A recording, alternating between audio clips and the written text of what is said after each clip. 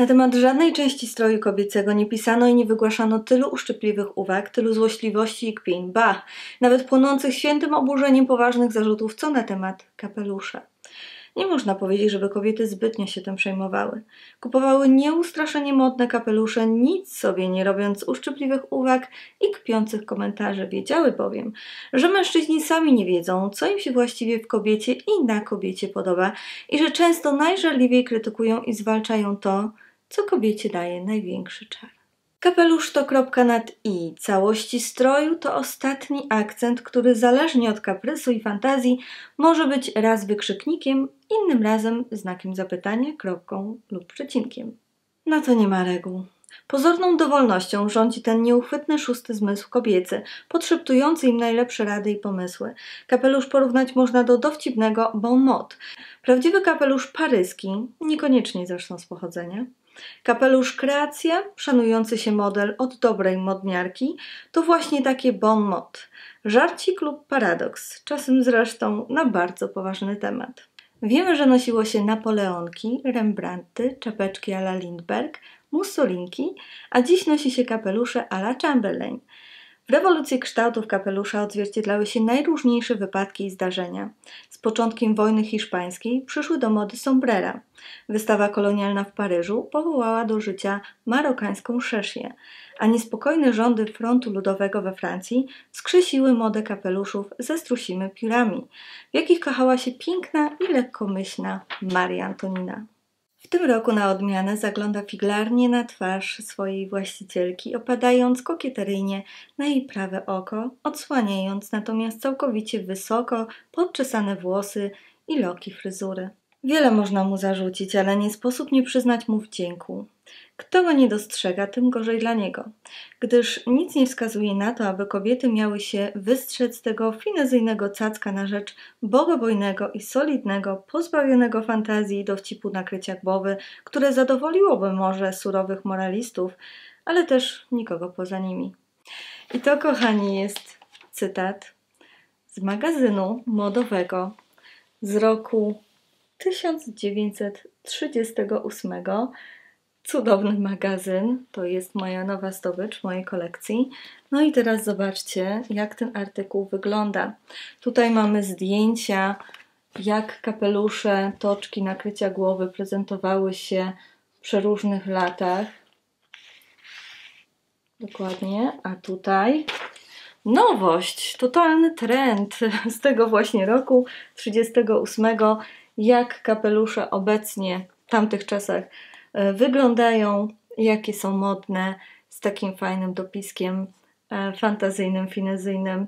Bardzo mi się to spodobało i stwierdziłam, że nakręcę dla Was film z moją kolekcją właśnie toczków, które posiadam, toczków i fascynatorów. Są to przepiękne dodatki, które w Polsce jeszcze nie wróciły aż tak do łask. Czasem sięgamy po nie z, z taką woalką, na przykład y, na dzień swojego ślubu, jako tako, taki retro dodatek. Natomiast y, no, najsłynniejsze chyba takie toczki i stylizacje właśnie z takimi dodatkami, e, nakryciami głowy są popularne popularne i znamy je z Wielkiej Brytanii. Tam rodzina królewska zawsze ma jakiś piękny toczek czy fascynator na swojej głowie. E, na wszystkich weselach, uroczystościach takich dużych to widujemy. E, jest to takie piękne, bardzo eleganckie e, i postanowiłam zaopatrzyć się w takie właśnie toczki na swój kanał, aby pokazywać Wam modę tamtych lat, czasem z takim nowoczesnym twistem. Jeszcze nie widzieliście tej kolekcji, chyba tylko zaledwie dwa toczki widzieliście, które posiadam, więc mam nadzieję, że Wam się ten film spodoba. Ja lubię o takim czymś mówić. Modystka. Mm, w magazynie było użyte stwierdzenie modniarka. Modystka to taki zawód, który już jest coraz bardziej pomijany, tak jak szef, zegarmistrz, czyli wiecie, takie bardzo mm, precyzyjne, piękne zawody, stare zawody. Teraz już o nich tak nie myślimy, ale pokażę Wam też różnicę, jak wygląda toczek, który jest zrobiony przez profesjonalną modystkę, jest to ręczna praca, a jak wygląda toczek, który jest z AliExpress, więc doskonale zobaczycie różnicę. Już nie gadam, tylko zapraszam Was do prezentacji. Zacznę od pierwszego kapelusza, który mam już na swojej głowie. Toczka. Mega mi się podoba, jest przepięknie wykonany. Najpierw Wam pokażę właśnie moje toczki i fascynatory od modystki, a później zaznaczę Wam, które są z AliExpress lub z innego źródła. Więc ten jest przecudownie wykonany. Zobaczcie, jaki to jest materiał. Jest dosyć sztywny, ale nie na tyle, żeby się nie dopasował do kształtu głowy, jeżeli właśnie położę go tak bokiem. Jest po prostu prześliczny. Kolejny, nieco większy, ten już jest w stylu takich lat 40. No i można go nosić na różne sposoby, w zależności oczywiście od fryzury. Ale moje czoło i moja fryzura dzisiaj nie będzie wyglądać dobrze po tylu przymiarkach. Tak się prezentuje. Zakładany jest na gumeczkę. Można albo tutaj, albo oczywiście pod włosy. Ja teraz, żeby Wam szybko je zaprezentować, nakładam właśnie pod szyję. Następny. Kolejne urocze cudo, fioletowe. Wszystko jest przepięknie wykonane, solidnie z taką kokardeczką, z twistem. Myślę, że taki całkiem zabawny, fajny i uroczy. Skoro już przy takich zabawnych e, toczkach z twistem jesteśmy, to przedstawiam Wam kolejny. Nieco mniejsza, delikatniejsza wersja z woalką. Opaska na opasce, fascynator. I to są właśnie takie fajne akcenty do stylizacji na przykład weselnych. Troszeczkę elegancji i złota.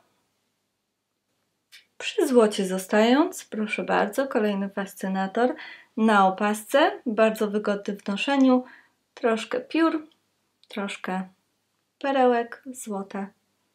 Zdecydowanie największy model w mojej kolekcji. Tak się prezentuje, również jest na gumce. No jest już bardzo, bardzo elegancki, ale jest niesamowicie tutaj zrobiony. Bardzo pięknie jest pozaginany. Można go zakładać również na różne sposoby. Ja lubię właśnie taki sposób. Ten toczek przypomina mi czarno-białe kino. Jest uroczy. Uroczy w swojej prostocie. Te modele, które Wam dotychczas pokazałam, stworzyła Kamila z kapeluszowo. Zobaczcie jeszcze te metki. To tak cudownie wygląda, jak wszystkich tych z wszystkich filmów, gdzie sprzedawano kapelusze w takich pięknych, okrągłych pudełkach e, i wynoszono je tak ze sklepu. Wszystkie były tak robione na miarę. Właśnie, Kamila mm, poprosiła mnie o wymiarę głowy, więc policzyłam wszystko tak, jak mi kazała i tworzyła właśnie na mnie. Wysłałam jej kilka propozycji, co mi się podoba, mniej więcej z jakich lat. Stworzyła dużo więcej ciekawych rzeczy, więc no taka jest różnica pomiędzy robionymi ręcznie kapeluszami e, a AliExpress. Zamówiłam kilka modeli z Ali. Ten już znacie z jednego filmiku, też Wam się podoba, natomiast to jest sztywne. To jest tak jakby z kartonika. Jedyne mocowanie to jest przyklejone na klej na gorąco, tutaj taka spineczka. Jedną już dzisiaj musiałam mocować, bo mi odpadła. A tutaj mamy jednak normalny kapelusik, więc różnica jest ogromna. To tutaj dałoby się złamać tak naprawdę, więc nie lubi się dopasowywać do głowy. Natomiast jeżeli potrzebujecie coś tylko na potrzebę zdjęcia, no to można o takim AliExpress pomyśleć. Natomiast do ślubu nie. Z tym trzeba się troszkę namęczyć, żeby, żeby zamocować. Widzicie, no tego się za bardzo nie dopasuje. Będzie odstawać mimo wszystko.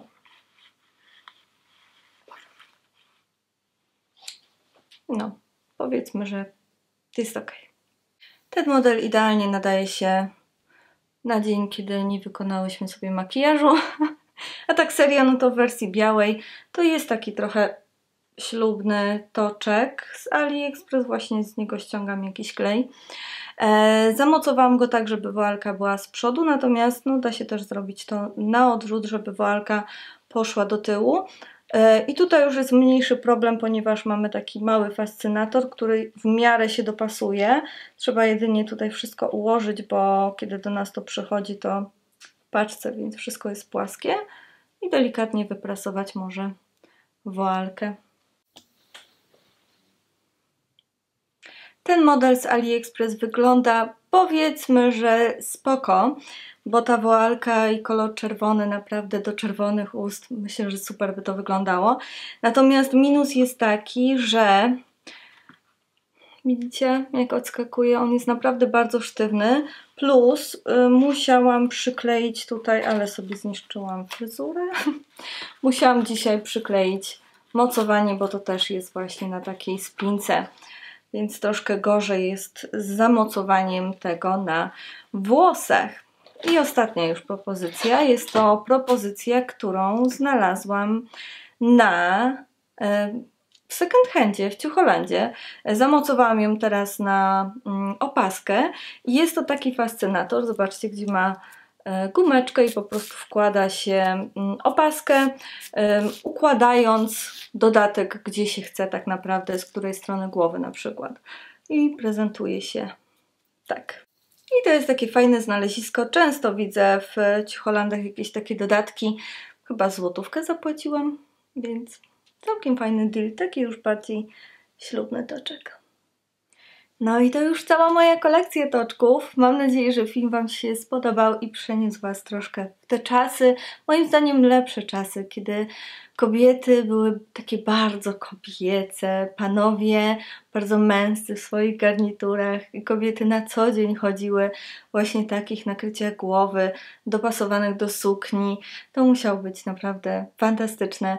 Mm, chociaż Czemu nie? Dlaczego nie możemy nosić e, takich nakryć głowy tak na co dzień? Ja często zakładam kapelusz i um, bardzo miłe sytuacje mnie spotykają. Bardzo dużo osób mnie zaczepia, pyta skąd i, i chwali to, że jestem odważna i że po prostu jestem sobą e, i że pokazuję swój styl, więc zachęcam Was do tego.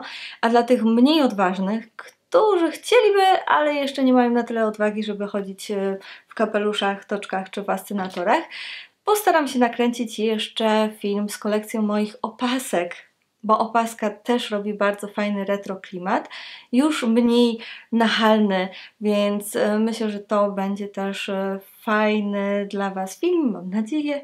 I mam nadzieję, że ten Wam się podobał. Jeżeli tak, kciuki w górę. Linki do tych um, kapeluszy, toczków z kapeluszowo Wam zostawię w opisie pod spodem, jak i tych z AliExpress. Sami zdecydujecie, co Was po prostu bardziej ewentualnie zainteresuje. Być może na jakąś sesję, być może do y, jakiejś sukni, czy na ślub. Więc tak, dziękuję za oglądanie i do następnego filmu, kochani. Pa, pa!